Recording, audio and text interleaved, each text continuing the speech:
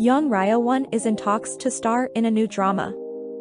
On July 19, her agency Hand Entertainment announced that she has been offered a role in the upcoming series A Graduation, directed by Ahn Pan Seok.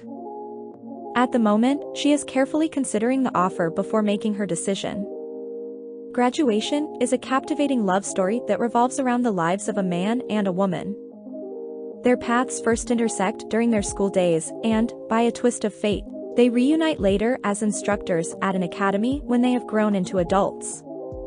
Director Ahn Pan-seok is renowned for his previous successful works, including popular dramas like Something in the Rain, One Spring Night, and His Secret Love Affair. While specific details about the drama, such as the exact premiere date, are yet to be unveiled.